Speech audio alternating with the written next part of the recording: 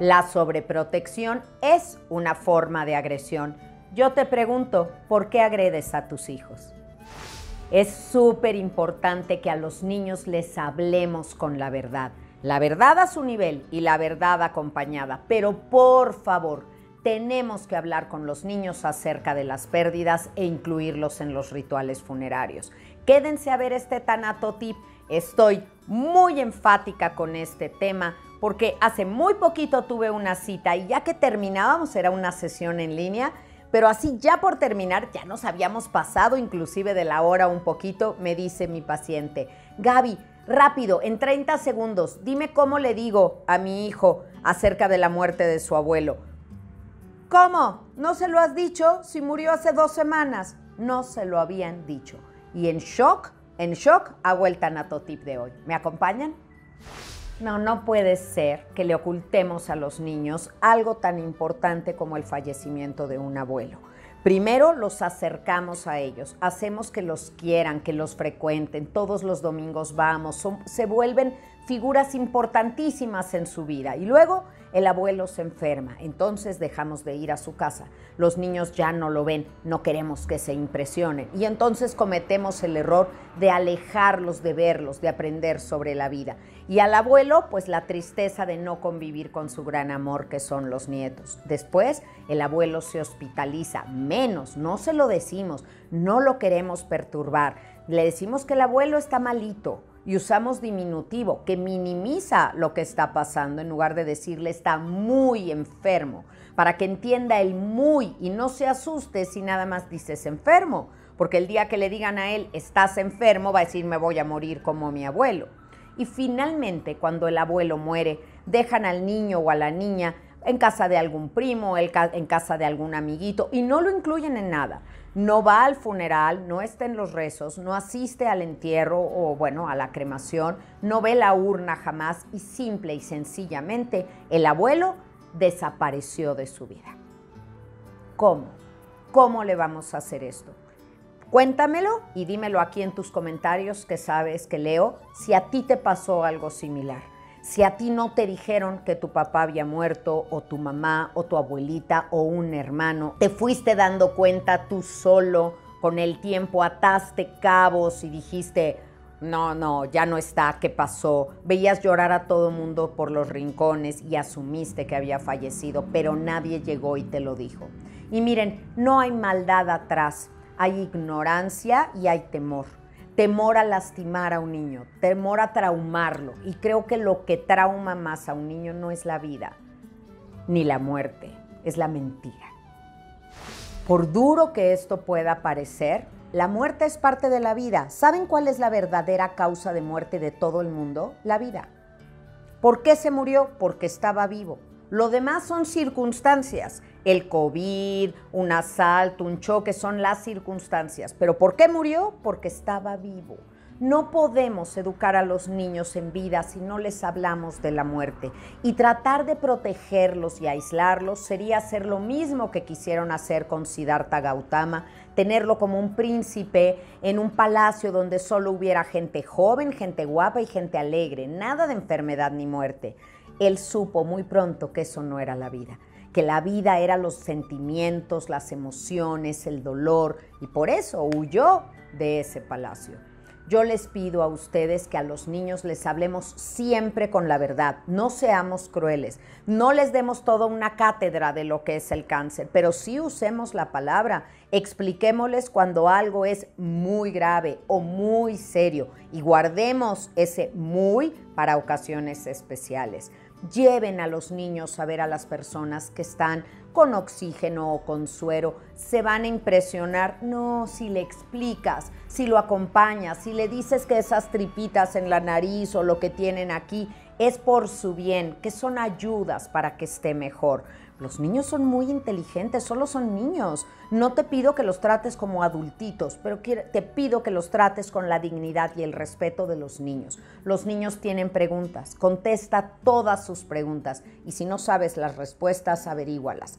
Para eso está cómo curar un corazón roto, que te enseña cómo hablarle a los niños acerca de la pérdida e inclusive trae como un diccionario de palabras difíciles que te puedan preguntar y no sepas explicar Para eso también está la niña a la que se le vino el mundo encima. Este libro que puedes leer junto con ellos a partir de los ocho años por capítulos para ir poniendo el tema de la pérdida sobre la mesa. Acuérdense que el sistema educativo nos queda debiendo con el tema de la pérdida. La tanatología debería de ser una asignatura escolar desde preescolar, irle subiendo la temperatura y hablar de duelo y pérdida. No que lo único que se menciona de muerte en toda la primaria es el ciclo vital. Naces, creces, te reproduces y mueres. Punto. No se vuelve a hablar de muerte nunca. Y resulta que hay personas que mueren antes de nacer. Hay personas que nunca se reproducen. Hay personas que no llegan a ser viejitas. O sea que esa información queda muy coja para todo lo que sí necesitamos saber. Es importante conocer de duelo y sentirnos más cómodos con el tema con los niños. Así que respondiendo a esta pregunta que me hizo un seguidor, ¿a los niños se les habla con la verdad con respecto a la muerte? Sí. Y aquí les van estos tres puntos a tomar en cuenta. Uno, primero necesitas entender tú la situación, asimilarlo, hacerlo tuyo, porque si a ti te parece horrible, horrendo, innombrable, tu cara al momento de hablar con un niño es de horrendo e innombrable. Así es que con los niños lo más importante no es lo que les dices, sino cómo se los dices. Eso es fundamental. Así que digiere la información tú, aunque te tomes un poquito de tiempo, no dos semanas, un poquito de tiempo y luego hablas con él. Punto número dos no trates de ponerles versiones romantizadas así de película, de se fue a un mejor lugar, un lugar maravilloso donde ya no tiene que ir a la escuela, hay puros juguetes y come lo que quiere, porque el niño va a decir yo quiero ir. Claro, vámonos todos a ese maravilloso lugar. ¿Por qué me tengo yo que quedar aquí a cumplir obligaciones? No hablemos de lo que no sabemos. Y la verdad es que no sabemos lo que pasa después de que morimos. Pero háblale y dale esperanza de que está bien, porque eso sí lo sabemos, de que también él va a estar bien, que sus necesidades van a ser cubiertas. Díganle que no tuvo la culpa, que estará acompañado. Permítanle expresar sus sentimientos. Y tres, otro de los grandes peros que nos detiene de decir las cosas es que creemos que vamos a marcar su infancia para siempre, su vida, que ya no va a ser igual. Yo creo que tenemos que normalizar no los tipos de muerte que vemos en las noticias, eso ojalá nunca se normalizara, pero sí tenemos que aprender a ver la muerte con naturalidad, porque la muerte es algo natural. Y mientras queramos seguir poniendo a la muerte afuera, de la puerta de nuestras casas, afuera de las pláticas con nuestros hijos, afuera de nuestra vida, va a haber este pleito y este conflicto. Aceptación. Aceptación es una gran palabra. Vamos a trabajar en ello. Yo les pido a ustedes que como adultos se preparen en este tema y para eso es fundamental dos cosas. Leer y ahí están mis libros para ustedes. Ya recomendé un para ahorita para trabajar también con los niños, pero para ustedes lean, eligen no tener miedo este libro que es para personas a partir de preparatoria, para comprender lo que es la vida, la muerte y no tenerle ese miedo que nos detiene. Y también que escuchen mi podcast después de la pérdida. Estamos ya de casi terminando una quinta temporada que ha sido extraordinaria con unos episodios y unos invitados increíbles. Por ahí hay sorpresas todavía. Así que síganlo en YouTube, Gaby Tanatóloga, en Spotify, en Apple, en Amazon, en todas las plataformas. Ah, y algo muy importante. He creado una nueva cuenta de Instagram que se llama Después de la pérdida oficial.